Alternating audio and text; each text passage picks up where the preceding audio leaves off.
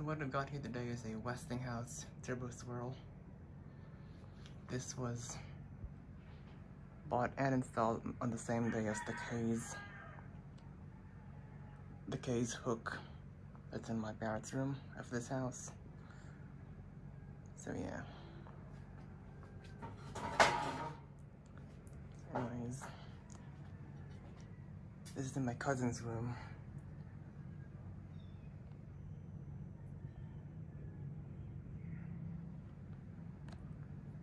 I'm get it now while they're away just so it's quieter. Here it's low speed.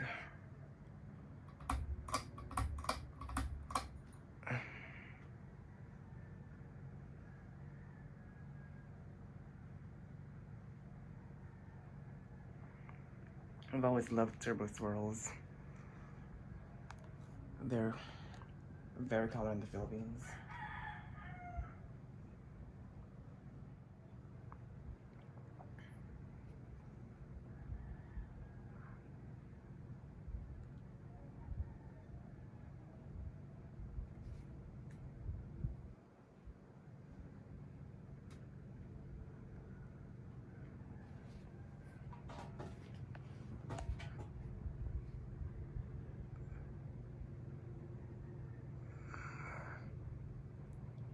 Moving like a thousand CFM despite only being low.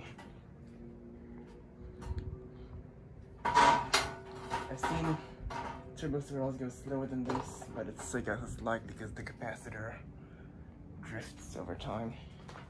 This video is kind of more complicated than like the video of the K's fan, because this fan, unlike the K's, is not installed over a Anyways, use medium.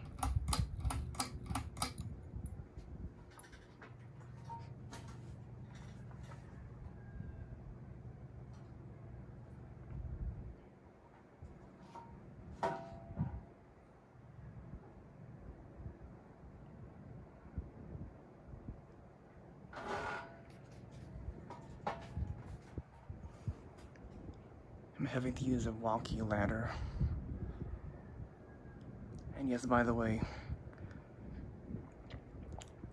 we're likely gonna change this light bulb inside with a brighter bulb.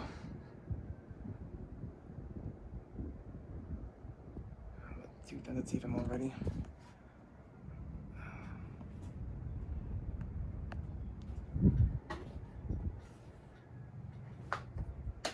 And finally, high.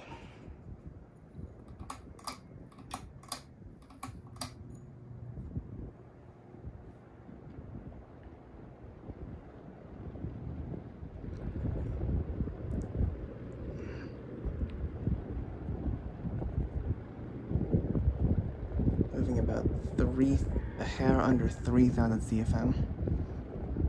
Keep in mind it's close mounted because it's a low ceiling.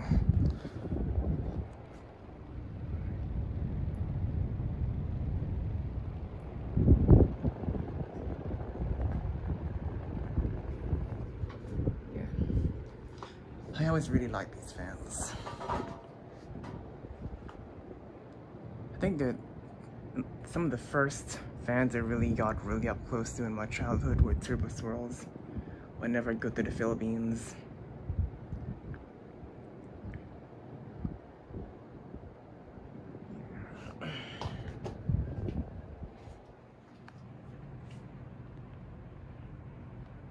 Yeah, this fan is actually kind of small for this room, but this is the fan that my cousin wanted. So, yeah.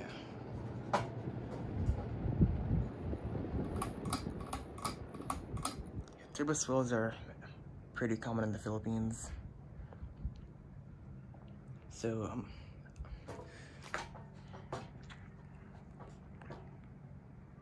turbo swirls were among the first fans that I actually really encountered up and close.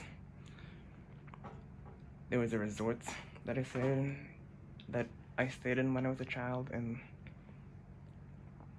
in the Philippines that had these and gazebos and the blades were actually bloated on the ends because I'm pretty sure these are indoor fans, so outdoors.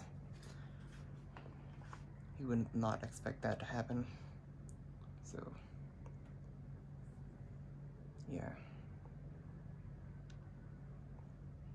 And you'd see these quite often in like places like restaurants and stuff. And the Philippines does not have like like in the US even though West even though Westinghouse is American I think Westinghouse fans in the US are actually less common compared to Hampton Bays and stuff because the US is like these big home improvement stores that have their private label brands like Hampton Bay and Harbor Breeze. Meanwhile, in the Philippines, most home improvement stores would carry Westinghouse rather than their own private label stuff. So these, so Westinghouse ceiling fans are extremely common here. Anyways, let's fire it up in reverse. The electrician kind of made a mistake there. The washer for this screw is actually inside, but he didn't. Apparently, he said it, it is okay. If I were putting it up, I would still, I would have still fixed that. Here's our reverse.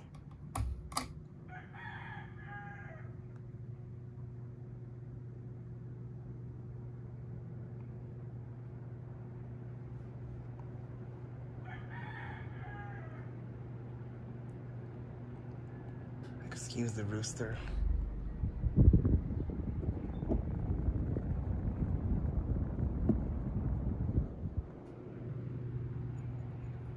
Here's medium reverse.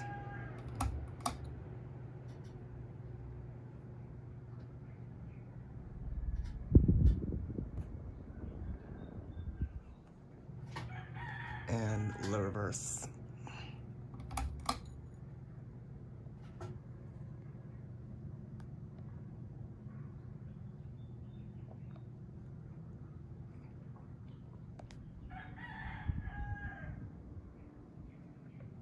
Anyways, finally, let's show around the fan a bit. Here's the top of the motor. There is the blades, should be 8 feet above the floor. I'm pretty sure I put that sticker on there with, I'm pretty sure who, the person at Westinghouse or the manufacturer made a mistake with that guideline because IEC requires manufacturers to have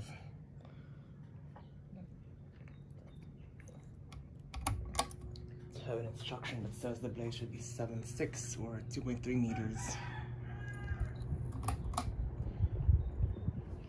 So,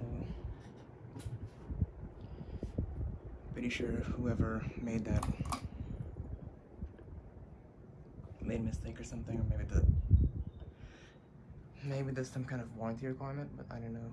Anyways, either way, it's not 8 feet from the floor. It's about 7.6 or 2.3 meters, which is definitely high enough. But anyways, that's it for now. Thanks for watching. Hope you enjoyed.